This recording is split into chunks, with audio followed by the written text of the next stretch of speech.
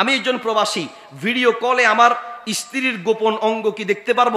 প্রবাসীদের থেকে প্রশ্ন। মানে হচ্ছে তিনি বিদেশে থাকেন এখন যাই হোক, পুরুষ মানুষ তো স্ত্রীর সাথে কথা বলতে গিয়ে হয়তোবা ভিডিও কলে স্ত্রীকে দেখতে চায়।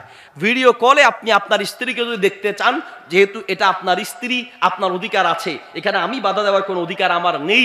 শরীয় তো আপনাকে সমর্থন দেয় যে আপনি আপনার স্ত্রীকে তার অঙ্গ, যে কোনো অঙ্গ আপনি দেখবেন, দেখার বৈধতা আছে। তবে অবশ্যই এই ক্ষেত্রে সতর্ক থাকতে হবে। এখন তো দেখেন না, মাঝে মাঝে গোপন ভিডিও ভাইরাল হয়। ঠিক না? গোপন আপনার রেকর্ড ভাইরাল হয়। কাজে এগুলো থেকে সতর্ক থাকতে হবে।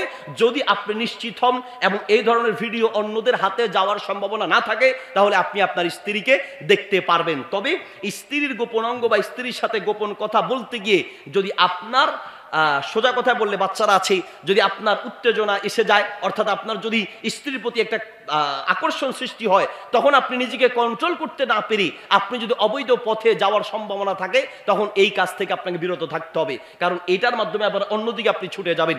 এই জন্য যদি আপনি নিজেকে নিয়ন্ত্রণ করতে না পারেন, আপনি যদি নিজেকে নিয়ন্ত্রণ করতে না পারেন, আপনার স্ত্রী যদি তাকে নিয়ন্ত্রণ করতে না পারে, আপনার জন্য বিদেশে থাকা হারাম, দেশে চলে আসতে হবে। বেয়াদবি মাফ করবেন।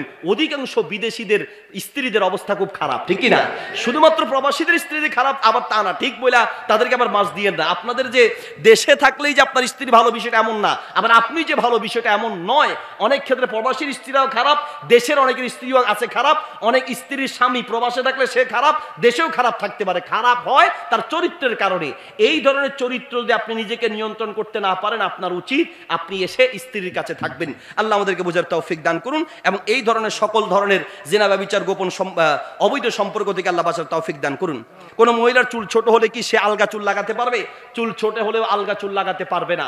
নবী সাল্লাম বদুয়া করেছেন, লান রসুল্লাহি আল মু আলওয়াসিলা ওয়াল মুসিলা। যেই সকল মহিলা আলগা চুল লাগায় এবং যারা লাগিয়ে দেয়, প্রত্যেকের উপরে আল্লাহর গজব নাজিল হবে। কোনো মহিলা আলগা চুল লাগাতে পারবে না। আকিকাতে কয়টি ছাগল লাগবে এবং গোস্ত কি মা বাবা খেতে পারবে?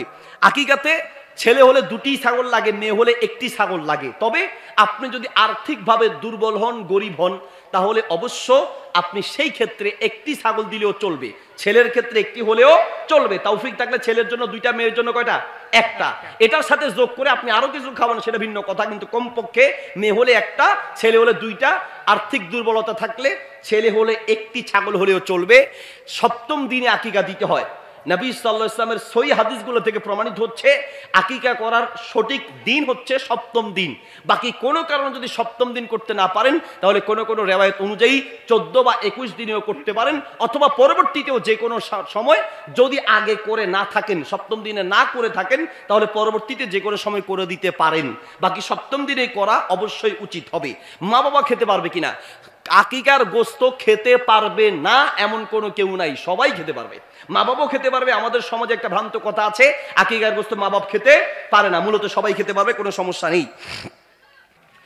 মদের লাইসেন্স দেয়া হচ্ছে, এক্ষেত্রে আমাদের করণীয় কি? কিচ্ছু করণীয় নাই। কি করব আমরা? অসহায় মানুষ, কিছু করার আছে? ক্ষমতাও আমাদের নাই। নবী সাল্লাহ ইসলাম বলেছেন মান রা মিনকুম মুনকারান ফালিয়ুগাইয়িরহু বিয়াদিহি।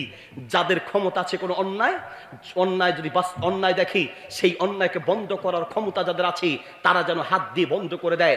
যারা দায়িত্বশীল, ক্ষমতাবান আছে, তাদের উচিত কেউ মদকে বৈধতা দিলে তারা বাধা দিবে, নিষিদ্ধ করবে। উল্টো তারাই যদি মদের বৈধতা দেয়, আমরা এই দেশের নাগরিক, আমরা ওনাদের সাথে পারব না। তবে এতটুকু পারব, আমরা বলতে পারব, আমাদের বলার অধিকার আছে, আমরা বলার অধিকার আছে, বলার জন্য আল্লাহ মুখ দিয়েছেন। আমাদের বলার অধিকার আছে। আল্লাহ মায়দার নব্বই, একানব্বই নম্বর আয়াতে মদ হারাম করেছেন। কেয়ামত পর্যন্ত হারাম। মদ খেলে জাহান নামে যেতে হয়। মদ খেলে আল্লাহর গজব নাজির হয়। মদ যারা খায়, মদ যারা খানা খাওয়ানোর ব্যবস্থা করে, মদ যারা বিক্রি করে, মদের যারা সমর্থন দেয়, প্রত্যেকটা ব্যক্তির উপরে আল্লাহর গজব নাজির হবে আমরা এটা বলতে পারি, এটা বলার অধিকার আমাদের আছে।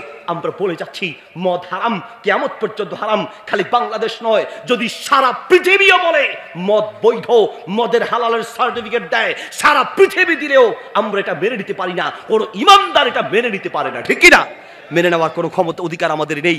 সবার উপস্থিতি, তো এই জন্য আমাদের করণীয় হচ্ছে, আপনি কোনো অন্যায় দেখলে পারলে হাত দিয়ে বাধা দিবেন। যদি হাত দিয়ে বাধা দিতে না পারেন, তাহলে আপনি কমপক্ষে মুখ দিয়ে বলবেন, যদি তাও বলতে না পারেন, মুখও বন্ধ করে দেয়, কথা বলাও নিষিদ্ধ করে দেয়, তখন আপনি শুধুমাত্র অন্তরে অন্তরে ঘৃণা করবেন, আপনি অন্তরে অন্তরে সেই কাজ ঘৃণা করবেন। আমরা বলছি এই মদ হারাম, পাশাপাশি অন্তরে অন্তরে ঘৃণা করছি। আমরা এই অন্যায়, এটা অবৈধ। এই অবৈধ হারাম জিনিস বাস্তবায়ন করার মাধ্যমে, বাস্তবায়ন করার মাধ্যমে কখনো শান্তি আশা করা যায় না। মদ যত এদিকে মদের বৈধতা যত দেয়া হবে সমাজের রন্ধ্রে রন্ধ্রে মদ যত প্রচার আর প্রসার হবে, এদিকে মাদকের সংখ্যা, মদ শরাব গ্রহণকারী, মদ গ্রহণকারী সংখ্যা যত বাড়বে, পৃথিবীতে আল্লাহর গজব তত বেশি নাজির হবে, সমাজে অন্যায়, অপরাধ তত বাড়তে থাকবে। আল্লাহ সুবাহ আমাদেরকে বোঝার তৌফিক দান করুন। মৃত ব্যক্তিকে গোসল দিলে কি গোসল দাতাকে গোসল করতে হবে? মৃত ব্যক্তিকে গোসল করালে হাদিসে এসেছে মিসকাতে হাদিসটি আছে, আর তারগিব তারহিব কিতাবে আছে সৈউল জামি কিতাবে আছে। নবী সাল্লাল্লাহু আলাইহি ওয়াসাল্লাম বলেছেন, মান গসসালা ফালিয়াক্তাসিল যে ব্যক্তি কোন মান গসসালা মাইতান যে ব্যক্তি কোন মৃত ব্যক্তিকে গোসল করাবে, সে যেন গোসল করে নেয়। এই যে নির্দেশনা, এটা লিল ইস্তেহবাব, অর্থাৎ মুস্তাহাব। যদি আপনি মৃত ব্যক্তিকে গোসল করিয়ে সুযোগ পান, তাহলে নিজে গোসল করে নেওয়া উত্তম। বাকি কোনো কারণে যদি আপনি মৃত ব্যক্তিকে গোসল না করিয়ে আপনি গোসল না করে নামাজ পড়তে চান, টাইম হয়ে গেছে, নামাজে দাঁড়িয়ে যেতে পারবেন। মৃত ব্যক্তিকে গোসল করালে আপনার উপরে গোসল করা ফরজ নয়, বাকি গোসল করে নেওয়া উত্তম। বুঝাতে পেরেছি?